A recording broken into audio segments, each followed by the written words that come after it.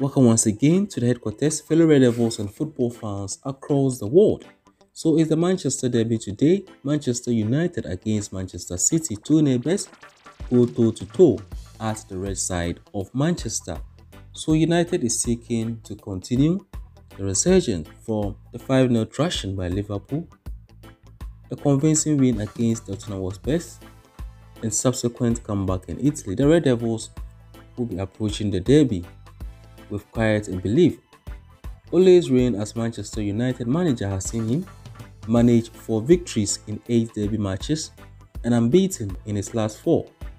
So somehow Solskjaer's Manchester United have good record against Pep's side, especially in the Premier League.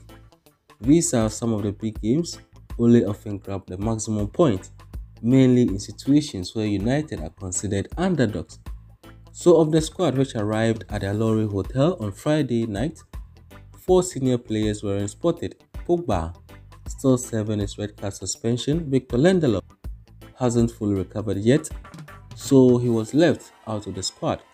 Varane out of injury, he picked against Atalanta, and Cavani reportedly having been ruled out due to medical reasons. According to one Uruguayan journalist, Rodrigo Romano, the 34-year-old has been playing with injury for a while, which is the main reason he was even left out of the Uruguayan squad selection.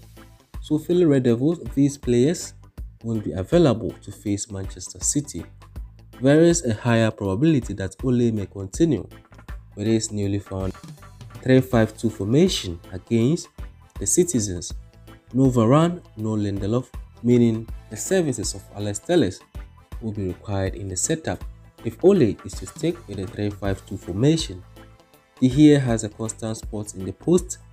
Right in front of him is the three-man wall of Shaw, Eric Bailly and then Maguire, AWB and Telles with the responsibility of fullbacks. In midfield, Ole will deploy the infamous McFred.